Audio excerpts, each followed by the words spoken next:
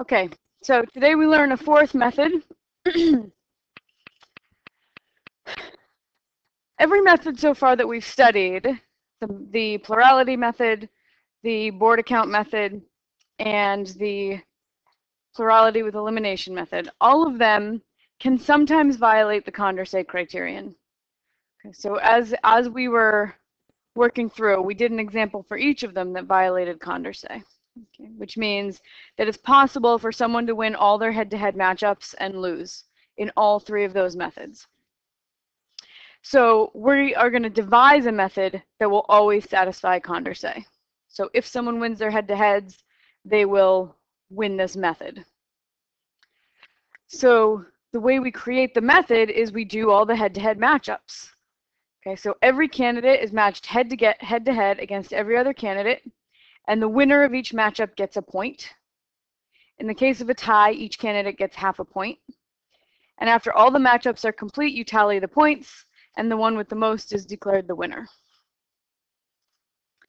So we'll go through an example so you can see it in action. So same election that we've been doing before. Um, we've used this in the other three methods, and I think we've had three different winners. Um, A, B, and D, I think, are three winners.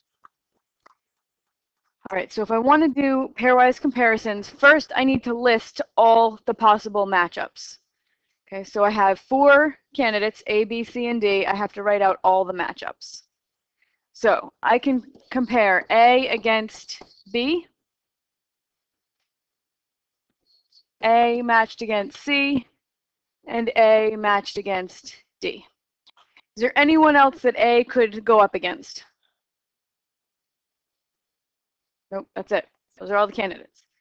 So now I'm going to do B's matchups. So that's all of A's matchups. So now I have to do B against C. Why not A? Already matched B against A right? They already are competing against A. So I'm going to do B against C and B against D. And now I have to do C's matchups. I've already done C against A up here. I've already done C against B. So I just need to do C against D. And then D's matchups are all done now. I have D against A, D against B, and D against C. So there are six total matchups here. Now I have to find out who wins each one. So I go back to the preference schedule and I have to decide if A and B were the only choices, who would win this election?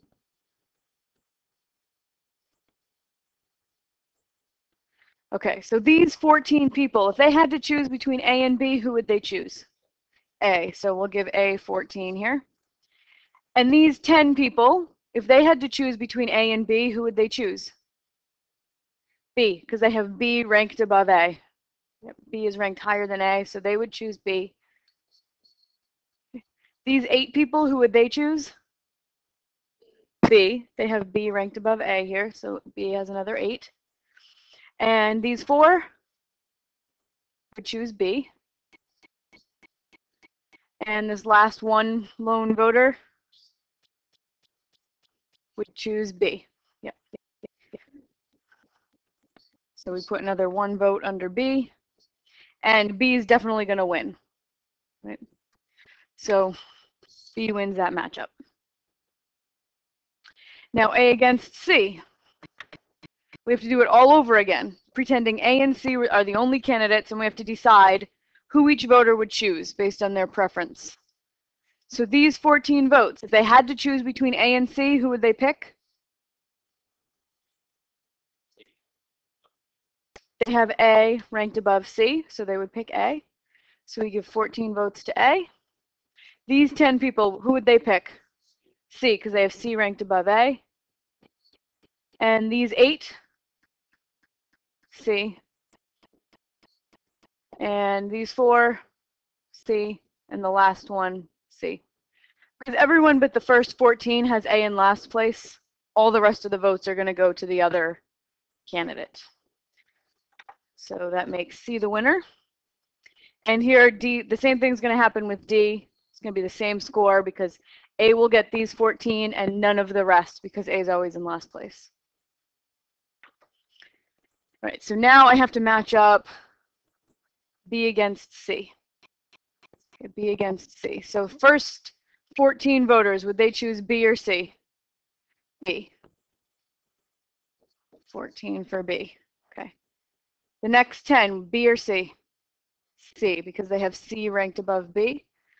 So I put 10 here. The next 8, B or C? C. C is ranked above B, so 8 more votes go to C. And the next 4, B or C? B. And the last voter? C. So that makes C the winner, 19 to 18.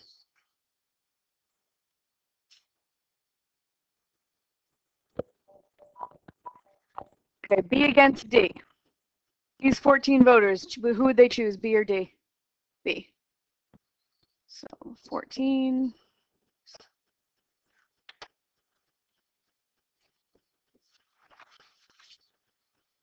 The next 10, B or D? D. Yep. Then the next 8, D. They have D ranked above B, so we've got 8. And then the next 4, B. Yep. And the last voter, D. So that makes B the winner. B has more votes than D.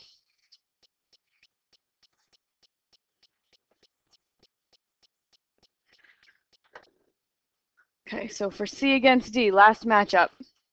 The first 14, who would they choose, C or D? C.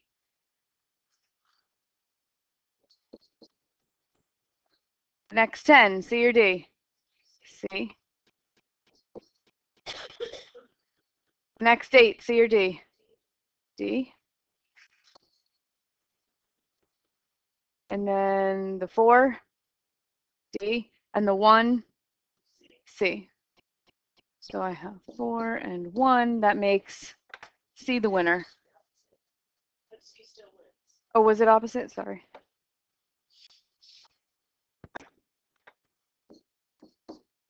Yeah, C still has the most. So then we tally up who, who won the most matchups. So we look A, one, zero matchups, right? B, one, one, this one, and two, that one. C, one, this one, and this one, and this one. So C has three matchups and D, one, this one, and that's it.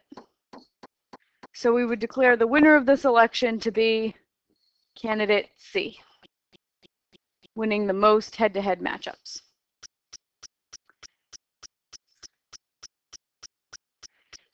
Now, candidate C, did they win all of their head-to-head -head matchups? Yep, nobody beat C. Nobody beat them. So what does that make candidate C? Condorcet. Makes a Condorcet. So in this method, it would be impossible for someone to win all their matchups and not win the election. Because if you win them all, you're going to have the most. So it's not required to win them all to win this method, but if you do win them all, you will definitely win.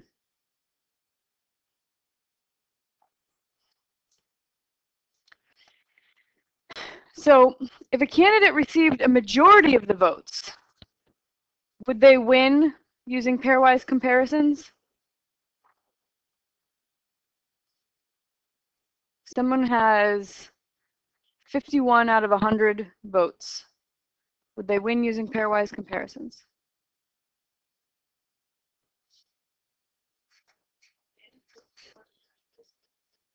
Yes, 51 first place votes. Yeah, the most anyone else could get is 49.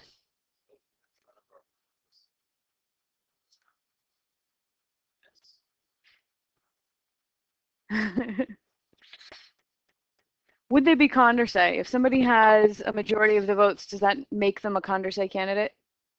Not necessarily. Yeah, can you explain why?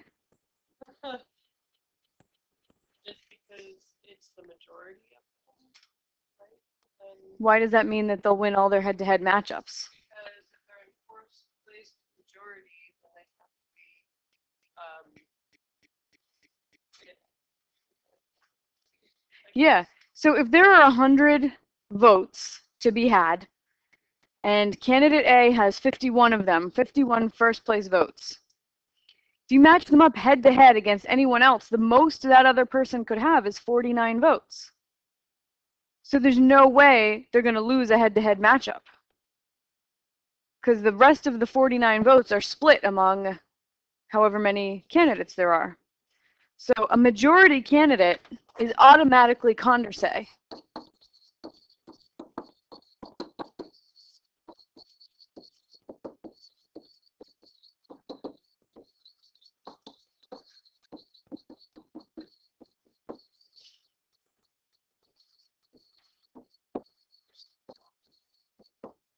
Yeah? What do you think? I feel like if there were enough rounds of voting, then eventually the majority wouldn't matter so much. What do you mean by rounds? Because there aren't rounds in this particular method. It's because it's the first class, because 14, 10, 8, 4, 1. I feel like if there were more of those, eventually it wouldn't matter if you had the majority, but I might just be missing out on the first class. Ah, okay. So you're if there were more candidates or more voters or Like how you got 14 in the first round and 10 in the second round. okay, these aren't a ra- whole bunch. Yeah, so these aren't rounds. These are um, numbers of voters. So 14 people ranked the candidates A, B, C, D, and 10 people ranked them C, B, D, A. It wasn't that we voted one, you know, so many times. This is ju- the re- just like piles of ballots. Right, no. So if you have a majority of the votes, you will automatically be Condorcet. Nobody could beat you in a head-to-head matchup if you have more than half the votes. Okay. And if you're a Condorcet candidate, can you lose the method of pairwise comparisons? No. Yeah, you'd you'd be an automatic you're an automatic winner. Yep. This, we designed the method of pairwise comparisons to satisfy the Condorcet criterion. So does that automatically give you both plurality and, um, order?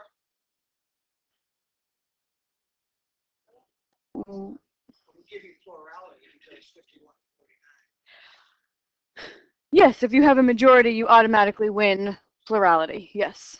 Yep. So if you are, but if you're Condorcet, you don't automatically win plurality because if you're a majority candidate, you're automatically a Condorcet candidate, but the reverse doesn't work. You can be a Condorcet candidate without having a majority.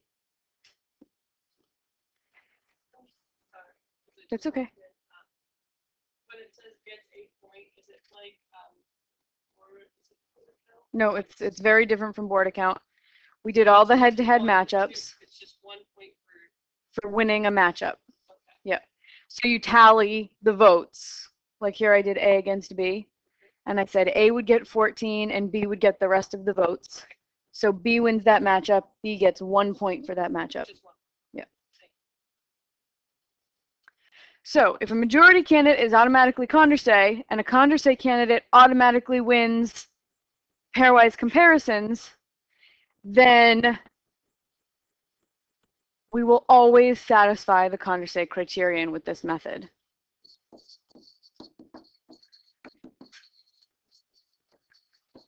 Pairwise comparisons always satisfies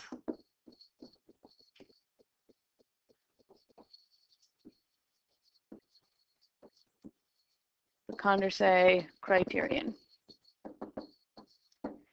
That is, it is impossible for someone to be a Condorcet candidate and lose. It is also impossible for someone to be a majority candidate and lose. Because if you're a majority candidate, you're automatically Condorcet. So it always satisfies the Condorcet criterion and the majority criterion.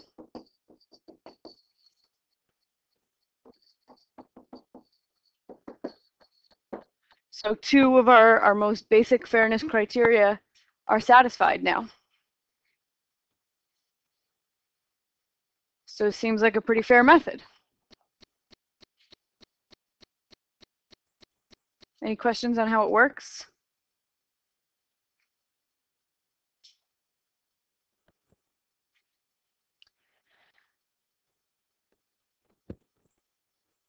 Uh, so yes, we just talked about this.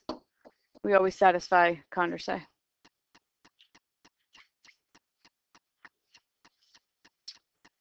Now, what if um, candidate X wins using this method and in a re-election some voters decide to put candidate X higher in their preference schedule?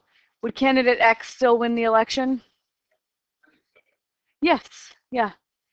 Because remember that was a weird thing that could happen with plurality with elimination. You could rank someone higher in a second vote and they could end up losing.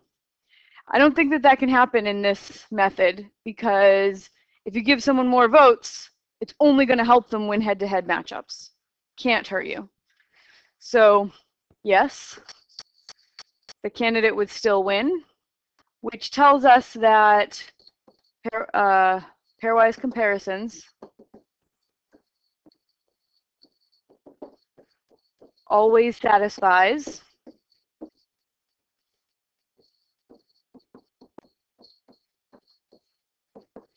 the monotonicity criterion.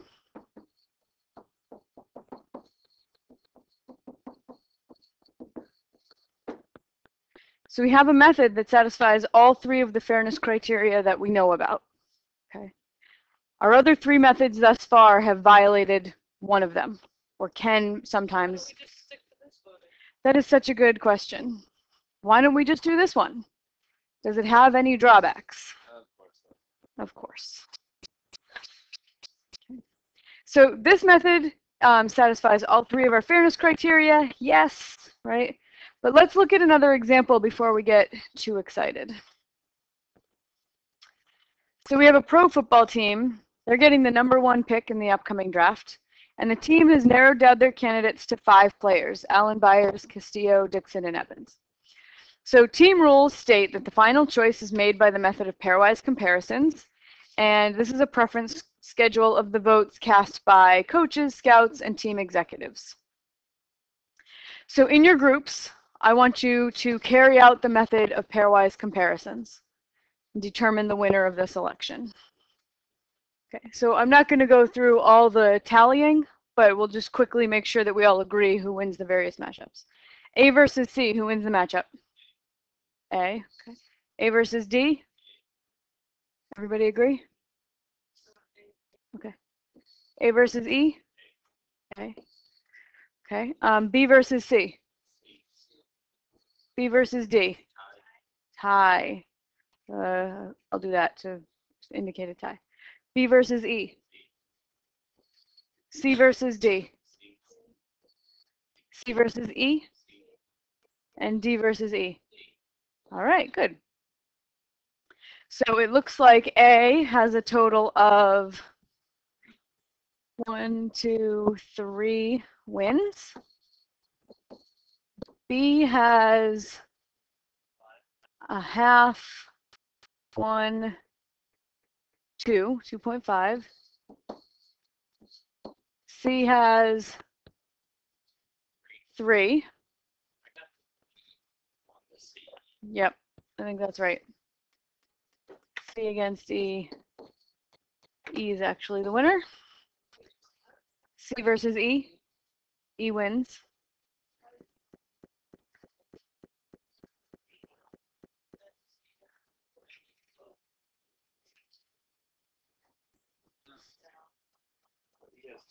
Okay, let's let's do C versus E. These two, C versus E, would choose C. These six, C versus E, would choose C. These four would choose E. This one would choose C. This one would choose C. These four would choose E. And these four would choose E. Oh, I missed the. last vote. So E has 12, C has 10. So E wins that matchup. So that means that C wins two matchups. D wins one and a half. And E once. So A is going to be the winner of this election with three points, winning three head-to-head matchups.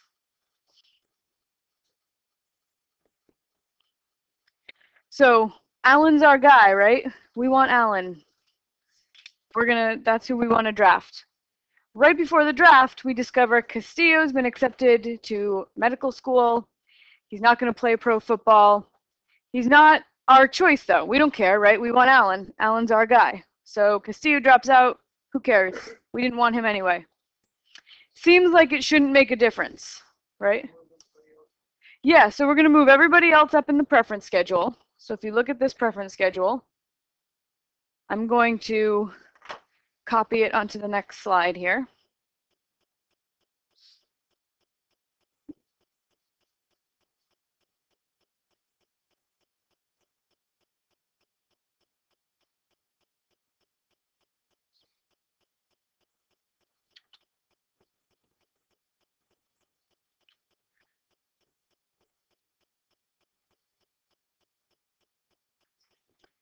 So we're going to create a new preference schedule that's going to eliminate C and move any player that's below C up a slot.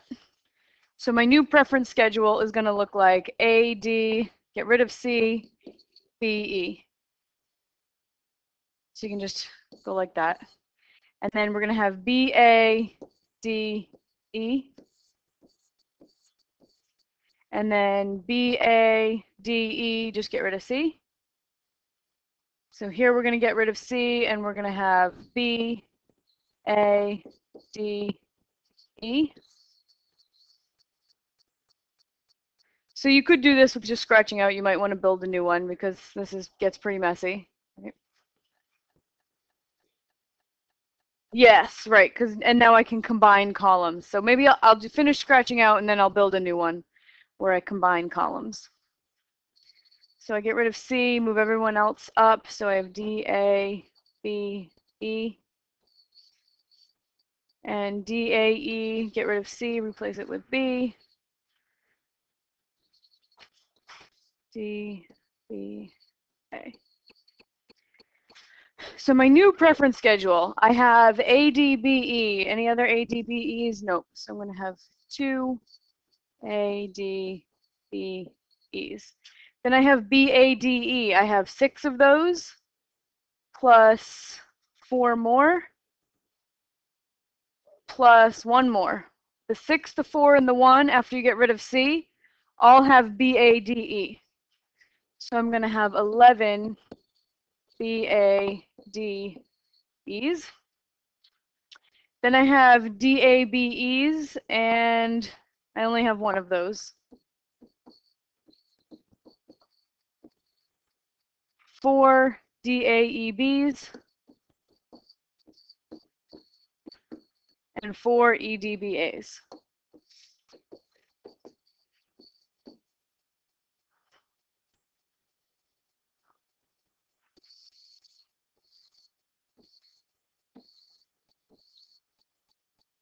So there's our new preference schedule with only four candidates in it.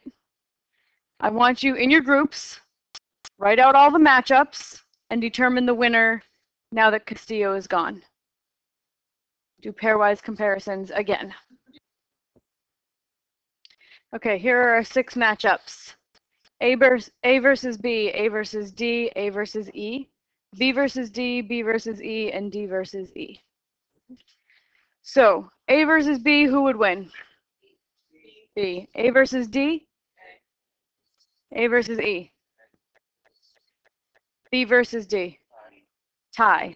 Okay. Okay. B versus E. What? B. Okay. D versus E. Okay, so A has one, two matchups. Um, B has one, two and a half. Uh, there is no C. He's gone. D has 1.5 and E has zero. Okay, so who wins this? Who wins the head-to-head matchups now? B. So we now we want player B. Just because Castillo's gone, we changed our mind and now we want somebody else. That's weird. Isn't that weird? We wanted Allen and now we want Byers. Only thing that changed is that Castillo, somebody we didn't want anyway, left. Yeah, but all his votes are going to go to somebody else, so it so it throws makes everything seem a little weird. Okay. So it seems like an odd result. It illustrates that the method of pairwise comparisons violates a new fairness criteria. It's called the independent of irrelevant alternatives, also known as IIA, also known as the dropout criterion. It says that if candidate X is a winner, and in a recount, one of the non-winning candidate withdraws or is disqualified, then X should still win. So if, imagine you're in an election. You win, you've been declared the winner, and then you know, a couple days later, it comes out that one of your opponents uh, cheated and is disqualified. Shouldn't matter. You should still win, right? But with the method, well, yeah, sure. Hypothetically, we find out a couple days later that that candidate cheated. If they re-tally all the votes, you should still win. Not a very good cheater. Right. They retally all the votes with that candidate now disqualified, you should still win. Shouldn't matter. They lost, right? But it turns out that sometimes with the method of pairwise comparisons, it can be that you would be the winner. We disqualify this other person, recount the votes, and now you no longer win. So we have this, this drawback to the method of pairwise comparisons. So this next example illustrates another drawback. So in your groups, I want you to determine the winner of this election um, for the hockey team deciding where to eat lunch. Use the pairwise comparisons to determine the winner. Okay, so uh, people seem to be finishing up here. So we can do these three methods fairly quickly, I think. Um, first method, pairwise comparisons. So we have three matchups, A against B, A against C, and B against C. So who wins A against B? A would have 4 plus 6 is 10, and the remaining 5 would go to B. So A wins. A against C, who wins? C, and B against C? B. Okay, so we have A has one vote, B has one vote, and C has one vote. So we have a three-way tie.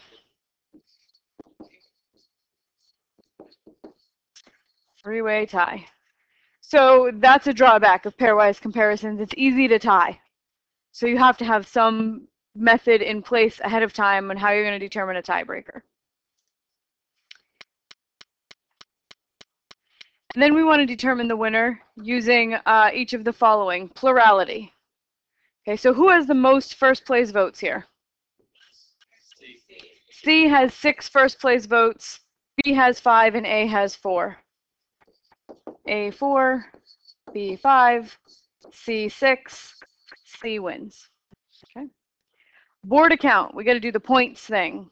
Okay, so A is going to have 32. Okay, yeah, you can just tell me. A has 32, B has 29, C also has 29, so A wins using Borda count.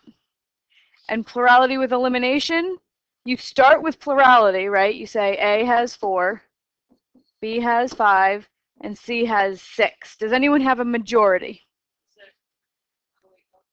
Nope, because there are 15 voters, so how many would you need for a majority? 8. Because for a majority, you need more than half. Yeah. So you need eight votes for a majority. Nobody has a majority. So who do we eliminate?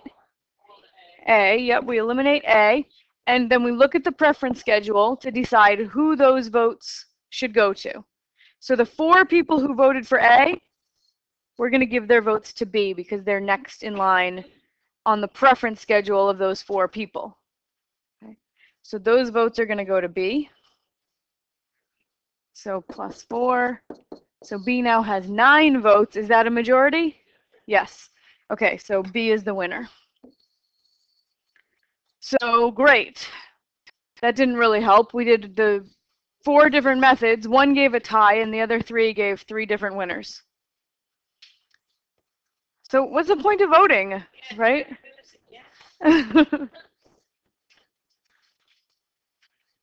so can, what can we conclude? What do you think about voting? Voting can be rigged. Okay, that's a good one.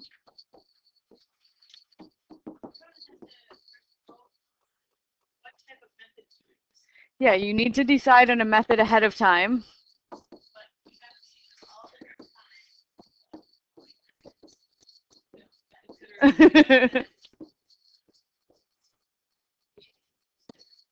yep, results from voting can be inconclusive.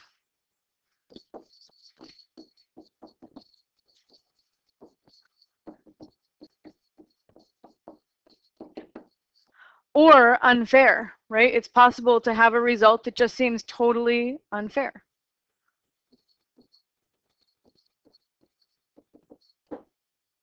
Just have Willa Chaplin, the oldest person in America, have them make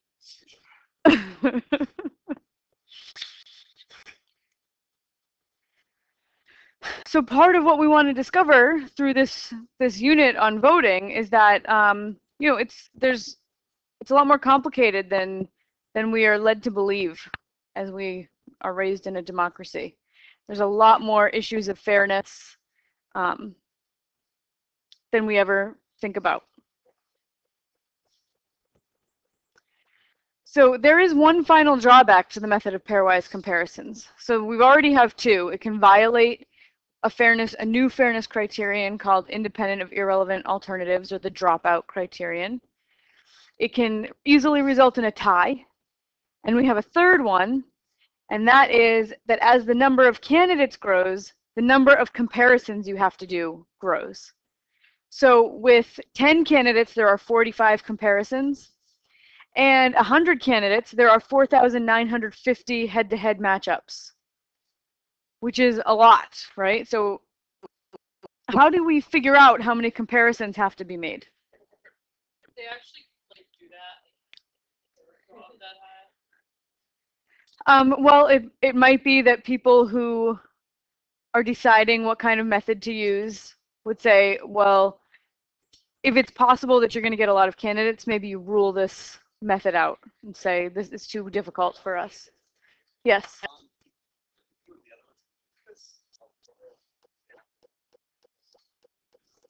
Who uses this? Um, yeah.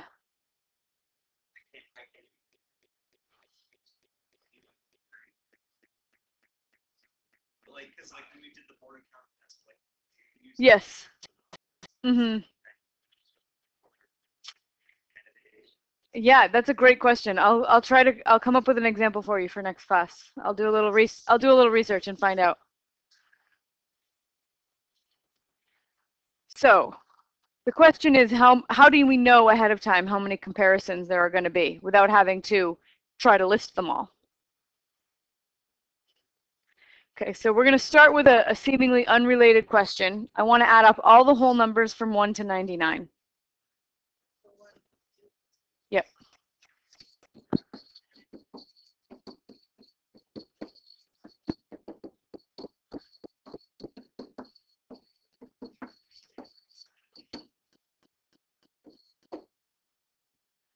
I want to know the answer to this addition problem.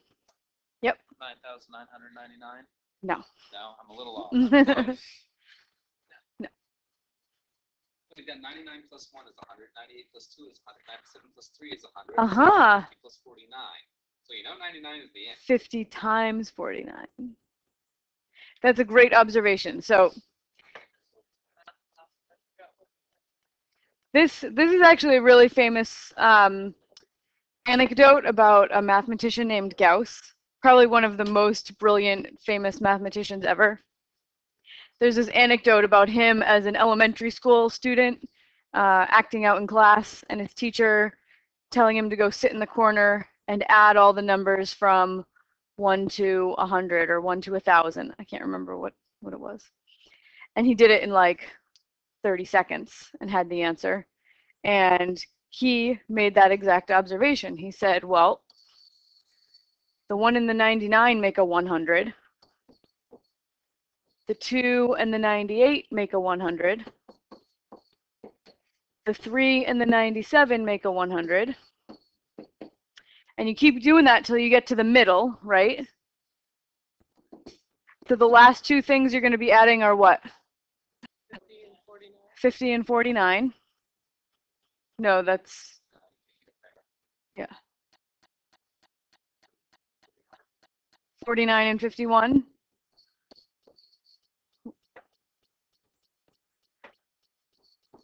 You add the 49 and the 51.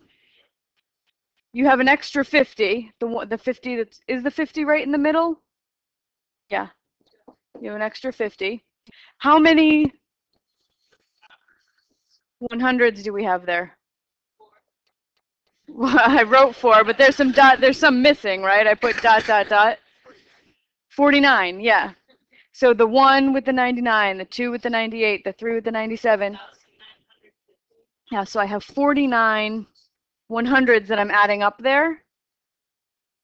How do you add 100 to itself 49 times? Multiply. This is 100 times 49. Then there's the 50 in the middle. So I get 4950 is the answer. 4,950.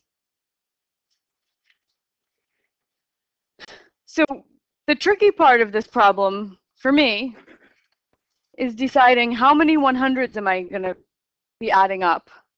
And do I have an do I have a leftover, right? Is there a number in the middle that didn't get a pair? Okay, so that's that's what makes it a little bit tricky. So I'm just going to show you another way to solve this problem. Okay, so I want to add up 1 plus 2 plus 3 plus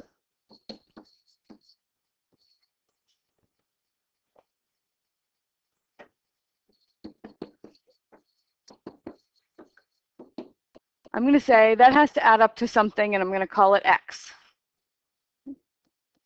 Now, if you add numbers forwards or backwards, you get the same sum, right? Whether you start with the front of the list or the end of the list. So if I add up 99 plus 98 plus 97 plus 3 plus 2 plus 1, I should also get x.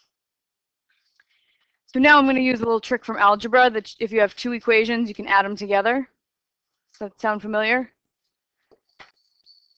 Add these two equations together. I have 1 plus 99, which is 100. 2 plus 98 is 100. 3 plus 97 is 100. 100, 100, 100. x plus x is? No. 2x. How many hundreds did I write down here? Okay, I wrote down six. How many are there really?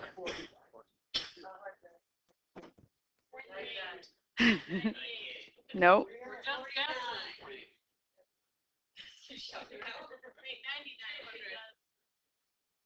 Yeah, 99. I start, look, you just look at the top equation. Just look at the top equation. There is a, there's a 100 for every number listed in the first equation, right? The one to, there's a correspondence. The one, two, three, Ah, 99. 99 100s. I have 99 of these. Okay, so 100 times 99 is 9900 is equal to 2x. Divide both sides by 2, so we get x is 4,950. Nah.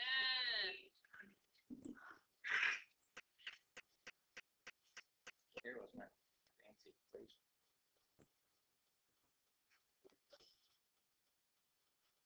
One, two, L. Yeah, let's not do this. Skip. Yeah, we're going to come up with an equation, but you don't have to do that. We're going to skip it.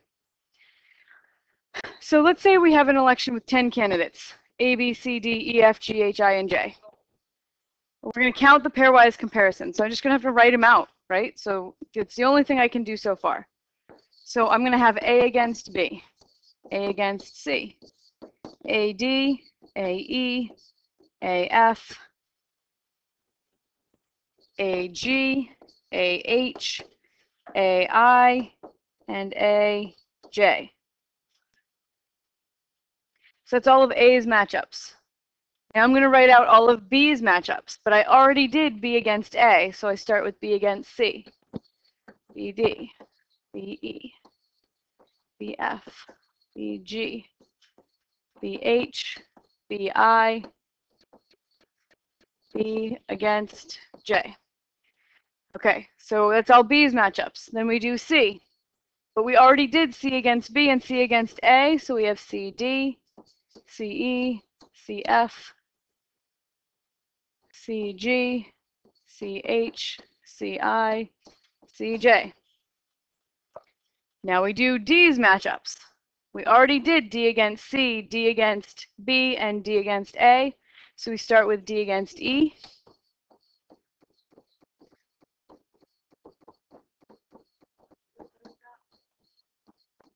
EJ, right?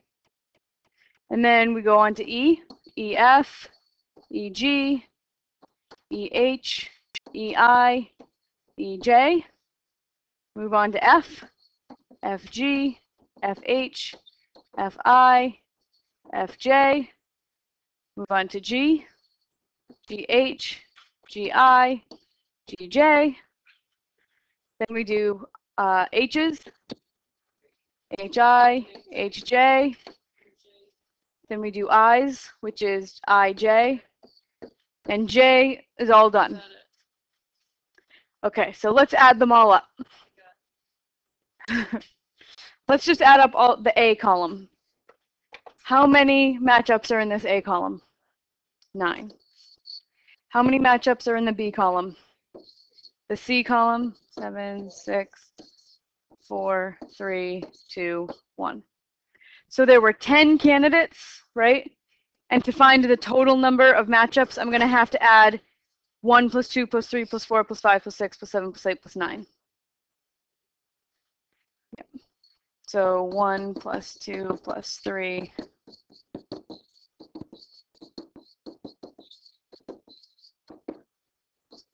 So we could do our little trick, or you could just add them up because this one isn't that many, right?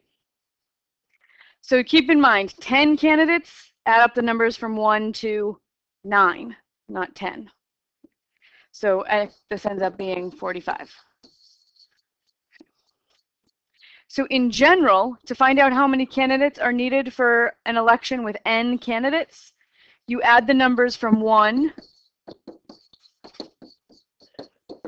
to what? Nope. N minus one. n minus 1, yeah. When there were 10 candidates, you added the numbers from 1 to 9. So we're going to stop at 1 less than n, which is n minus 1. Wait, so you said add the number. Add the numbers from 1 to n minus 1. Doesn't matter. No. But we can if you want.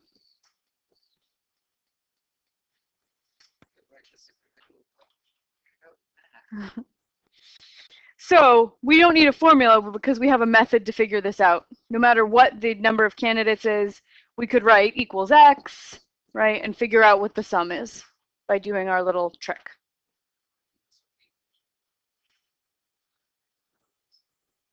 See, how much do we have left here? One more example. So we have a, a round robin tournament. Every player plays every other player one time. Uh, imagine you're in charge of scheduling. There are 32 players. You get a dollar per match. How much will you make? So if there are 32 players, there's 31 matchups.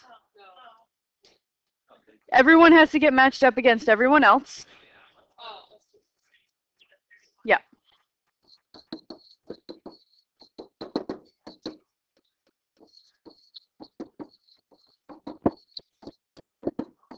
You add the numbers from 1 to 31.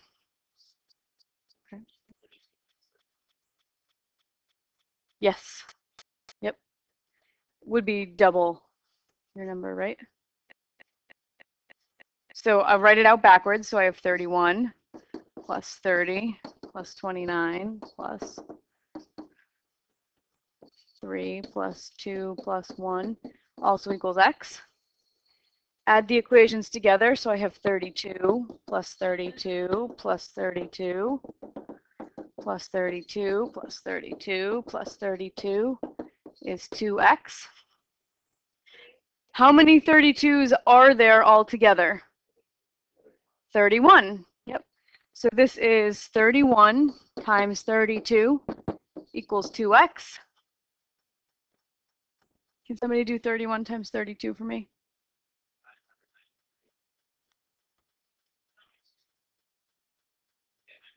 Nine hundred ninety-two.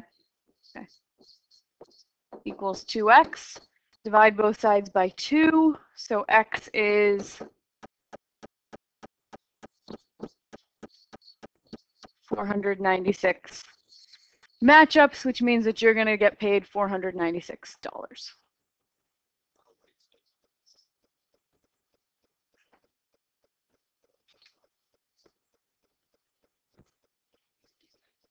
So now will that work for, like, this way, will the top two lines, will that work for?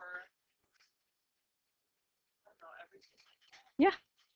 Wait, can you just, can you just take your, a lot of stuff to do. Yeah. I, Like, very That's okay. So, can you just any number, like, thirty-five, you thirty-five, divided by Yes, and then divide it by two. Yeah. Yeah. So yeah, if you want to have a formula, right, for n candidates or n matchups, right? For uh, and you need n candidates, you need to know how many matchups. You just do n times n minus one divided by two. I like more. Yes, sure. So this is for candidates. yeah, for n candidates, there are this many matchups. Yeah, so some people like formulas, some people, um, like me, I hate to memorize formulas, so I always write it out with the two equations. But you can just use the formula.